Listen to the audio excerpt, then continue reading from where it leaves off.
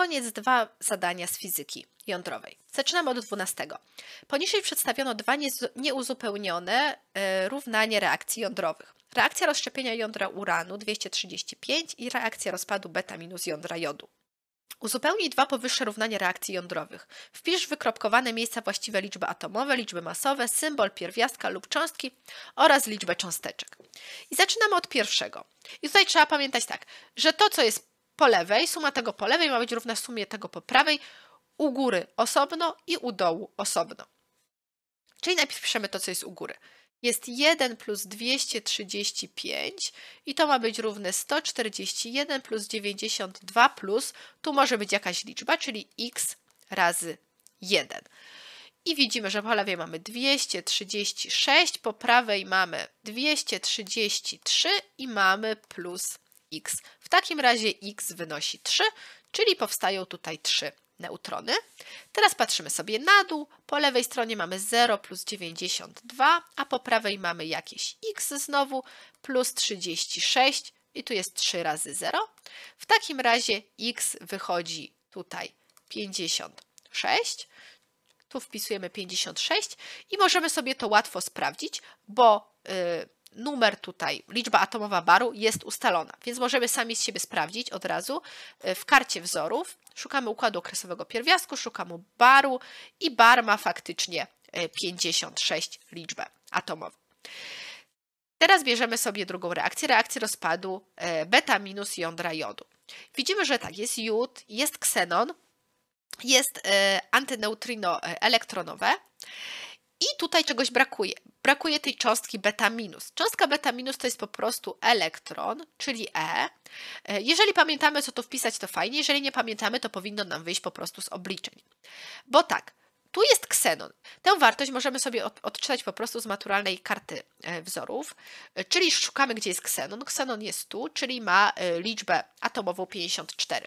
Czyli tutaj jest 54, czyli przy E musi być minus 1. Żeby 54 minus 1 dało 53. No i teraz tu ile jest musimy pamiętać. Tutaj stoi 0 przy elektronie, czyli przepisujemy 131 i w ten sposób mamy uzupełnioną reakcję. Zadanie 12.2. Czas połowicznego rozpadu izotopu jodu 131 wynosi 8 dób w zaokrągleniu do dwóch cyfr znaczących. Oblicz stosunek liczby jąder ksenonu, które powstały w wyniku rozpadu jąder jodu podczas dwóch dób, licząc od chwili początkowej, do liczby jąder tego jodu w chwili początkowej. Wynik podaj zaokrąglony do dwóch cyfr znaczących. I tutaj trzeba już pamiętać wzór. E, nie posłużymy się tutaj mm, wzorem z kartu wzorów, bo po prostu go nie ma. Wzór jest następujący, że liczba jąder, która pozostała po czasie t, to jest liczba jąder, która była na początku, razy jedna druga do potęgi czas, który upłynął przez czas połowicznego rozpadu. To tu powinnam napisać czas małe t. Tak, to jest czas, który upłynął. To jest czas połowicznego rozpadu, który nam podali, że wynosi 8 dób. To małe t nam podali, że wynosi 2 doby. I teraz o co nas pytają? Mamy obliczyć stosunek liczby jąder ksenonu, które powstały w wyniku rozpadu jąder jodu podczas dwóch dób. Czyli ile ksenonu powstało?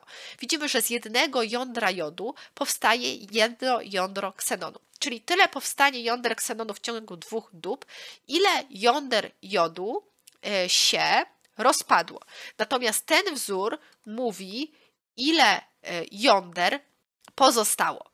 Czyli jeżeli chcemy obliczyć, ile się rozpadło, to musimy odjąć n0 minus nt.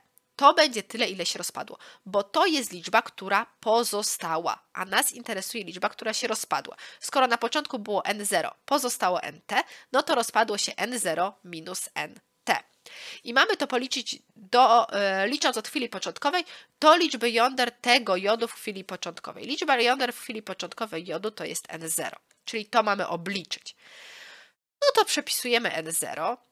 N od T przepisujemy jako to, czyli N0, jedna, druga, T do T przez N0.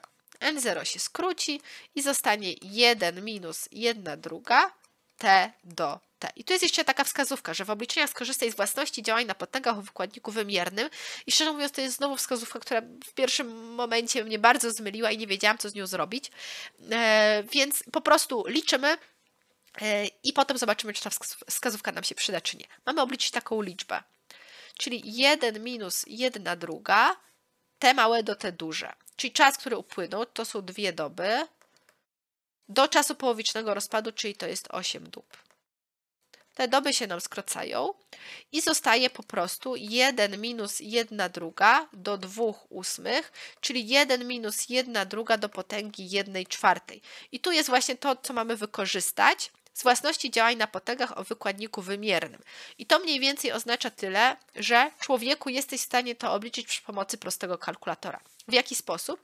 Ano w taki, że 1 czwarta to jest nic innego jak 1 druga razy 1 druga.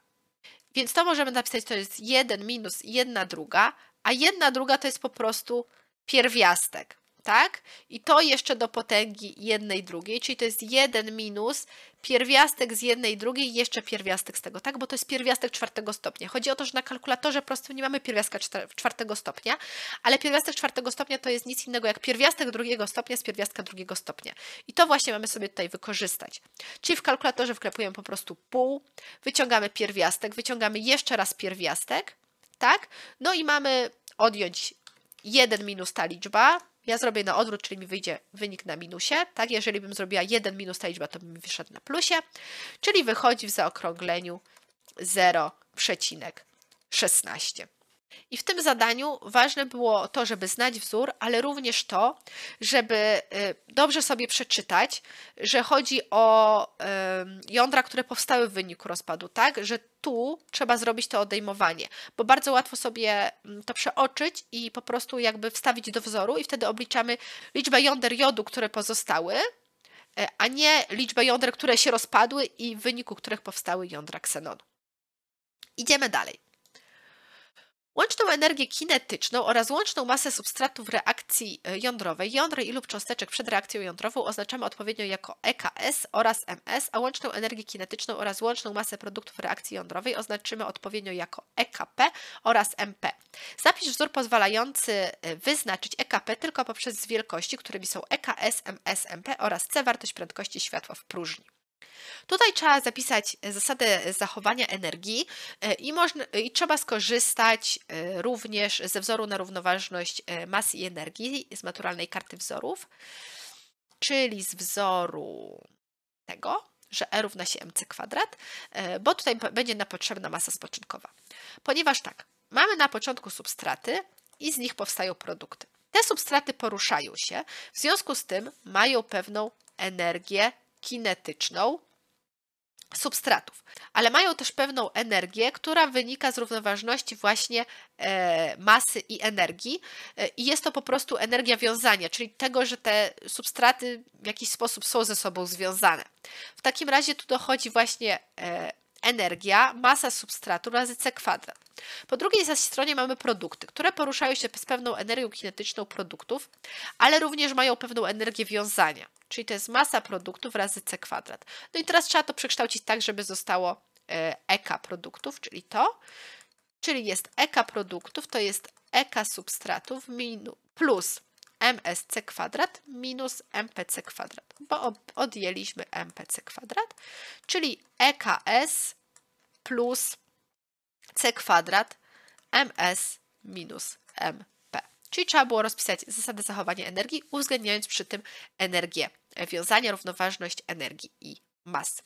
Następnie mamy ustalić relację większy, mniejszy, równy między energią kinetyczną produktów a energią kinetyczną substratów dla każdej z reakcji zapisanych we wstępie do zadania. Wpisz w każde wykropkowane miejsce odpowiednie znaki większy albo mniejszy albo równy. Najpierw jest reakcja rozszczepienia jądra uranu. Jeżeli pomyślimy sobie o reakcjach rozszczepienia, to reakcje rozszczepienia to są te reakcje, które e, wykorzystujemy w reaktorach jądrowych. I my te reakcje wykorzystujemy do tego, żeby uzyskać energię. W takim razie, jeżeli chcemy uzyskać energię, no to w reakcji rozszczepienia musi się wydzielać energia. Jeżeli wydziela się energia, no to ta energia wydziela się kosztem pewnej masy, bo energia i masa są według tego wzoru równoważne. Czyli jeżeli miałam substraty i powstają produkty i wydziela się pewna energia, no to musi maleć masa. Z tego wynika, że masa substratów musi być większa od masy produktów, bo pewna część masy tutaj została zamieniona na energię, czyli ta masa produktów musi być mniejsza od masy substratów. Jeżeli popatrzymy sobie na ten wzór, no to skoro masa substratów jest większa od masy produktów, to ta wielkość wychodzi dodatnia. Czyli mamy energia kinetyczna produktów jest równa energia kinetyczna substratów plus coś, co jest większe od zera. Czyli z tego wynika, że energia kinetyczna produktów jest większa od energii kinetycznej substratów. Czyli w ten sposób wstawiamy. Natomiast jak w drugiej reakcji. Druga reakcja to jest rozpad beta minus. I teraz tak, tutaj możemy albo wiedzieć, że rozpad beta minus to jest rozpad, w którym wydziela się energia, czyli analogicznie jak w reakcji rozszczepienia i wstawimy e, taki, e, taki, taki znak, że energia kinetyczna produktów jest większa od energii kinetycznej substratów, albo jeżeli nie wiemy, czy wydziela się energia w rozpadzie beta minus, to możemy sobie spojrzeć na tę reakcję i pomyśleć sobie o niej w ten sposób. Jeżeli mam promieniotwórczy pierwiastek, jakikolwiek, tutaj w tym przypadku J, ale mam promieniotwórczy pierwiastek i on spoczywa i dochodzi do jego rozszczepienia, no to wydzielają się jakieś cząstki. I te cząstki zaczynają się poruszać. Oczywiście zasada zachowania pędu jest zachowana, czyli pęd początkowy, czyli ten zerowy, musi być równy pędowi końcowemu, czyli tutaj pęd jest końcowy, czyli te cząstki będą miały e, takie Mm, zwroty tego pędu, żeby one sumarycznie, y, żeby ten pęd wyniósł 0, ale tutaj prędkość wynosiła 0 tej cząstki jodu. Natomiast te cząstki, które się tutaj wydzielą, one mają prędkości jakieś niezerowe, takie, żeby pędy wyniosły 0, ale energia kinetyczna tych produktów na pewno nie będzie równa 0, bo poruszają się z pewnymi prędkościami. A tu energia kinetyczna jodu wynosiła 0. Tak? W związku z tym widzimy, że wydzieliła się pewna energia. Więc w taki sposób możemy sobie również e, w tym zadaniu dopowiedzieć, że energia musiała się wydzielić, więc jeżeli się wydzieliła, to wydzieliła się kosztem jakiejś masy, czyli masa produktów jest mniejsza od masy substratów i z tego wzoru, który sobie wcześniej wyprowadziliśmy, możemy zaznaczyć, że energia kinetyczna produktów jest większa od energii kinetycznej substratów. I w tym momencie zrobimy też zadanie 13, bo to jest ostatnie zadanie, króciutkie zadanie również z fizyki jądrowej. Jądro atomowe X pochłonęło całkowicie foton o energii E. W wyniku tego powstało wzbudzone jądro atomowe X z gwiazdką, czyli właśnie wzbudzone. Dokończ zdania zaznacz odpowiedź A, B albo C oraz odpowiedź D, E albo F. Pierwsze. Masa wzbudzonego jądra w porównaniu do masy jądra X będzie większa o E przez C kwadrat, taka sama czy mniejsza o E przez C kwadrat. Jeżeli, jeżeli pomyślimy sobie o fotonie, to pierwsze, co nam przychodzi do głowy, to to, że foton jest cząstką bezmasową. W takim razie, jeżeli jądro atomowe pochłania foton, no to wydaje nam się, że masa nie powinna się zmienić. Ale tutaj jest haczyk. Haczyk jest, taka, że jest, haczyk jest taki, że jest właśnie ta równoważność masy i energii. Czyli jeżeli foton niesie pewną energię, to on sam nie posiada masy, ale ta energia może zostać wykorzystana na to, że powstaną cząstki, które są pewną masą obdarzone. W związku z tym tak naprawdę musimy uwzględnić, że e, skoro E równa się mc kwadrat, to m to jest e przez c kwadrat. Czyli musimy tu powiedzieć, że masa wzbudzonego jądra będzie większa o e przez c kwadrat, właśnie przez to, że jest równoważność mas i energii.